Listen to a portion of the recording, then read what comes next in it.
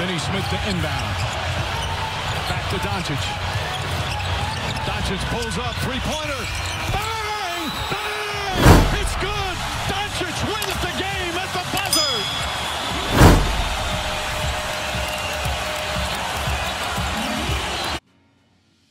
No, first of all, Ronnie 2K is the one that does the ratings. Did you watch Ronnie 2K play last year in the celebrity game and the All-Star weekend? How how can he have the audacity to give anyone a rating the way that he looks on the basketball court? That's the first thing. Second of all, who cares? Who cares about a rating? You know what you are as a person. Yes, it should be disrespectful, but when in silence, you don't have to let the world know. All you have to do is sit back and say, okay, I'll show you. Like Amin just said, Giannis not worrying about his rating. Giannis probably sitting back saying, all right, I'm going to be better next year. That's all I'm saying. And by the way, it's Ronnie 2K. Did you watch Ronnie 2K play basketball? He's I got a question. It's Ronnie 2K that's doing the rating. So he don't know a lick about basketball. Devin Booker is one of the most elite scorers in the game today. And what he did down there in the bubble, he shouldn't be nothing less than a, a 90, a rating of a 90. I'm going to leave it at that. I'm not Yeah. an expert at ratings. I just my only concern is why why didn't you give him the extra point and put him at a 99? Like why you just had to be that disrespectful and put him at a 98 instead of giving him that one extra point and putting him at a 99. LeBron James was phenomenal.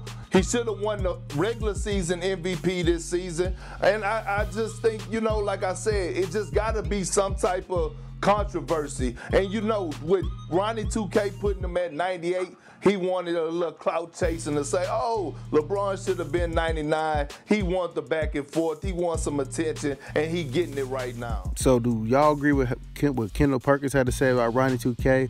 He's, he's he's a legend that Ronnie 2K is the one who makes the ratings, and I already said it from the jump. A lot of the overall ratings was questionable. I said I thought LeBron should should, should have been a 99. I mean, you're in year 17 and you're playing the way you are. I felt like Jamal Murray should have been at least a solid 90 or even possibility of 91. Um, so there, here's a video Kendrick Perks, man. He was going in on Ronnie 2K, basically saying Ronnie 2K knows nothing about basketball.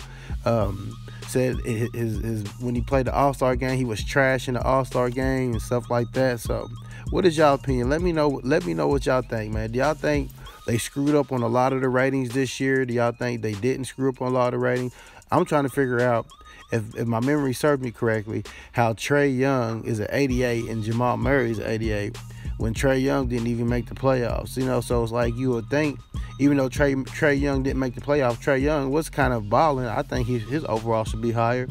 Um, then you got Kemba Walker, you got Jaylen Brown. They're overall, Jaylen Brown, okay, I can understand, but Kemba Walker, I think his his his, his rating should at least be in an 88. You know, so they got Giannis at a 97. Of course, they're, they're going to have Giannis right below LeBron. They can't have him on the same level as LeBron. Um, Paul George should have been lower. Here's the thing Jamal Murray balled like that.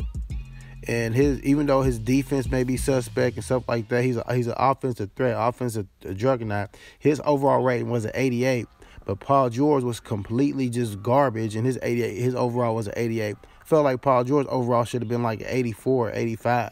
You know, if, if that was Melo in the playoffs, and um, and Melo did that bad, they would have Melo at like a 76 or something like that. You know what I'm saying? So uh, that's my take on it. Um, if you ain't already subscribed, like I said, subscribe to the channel, man.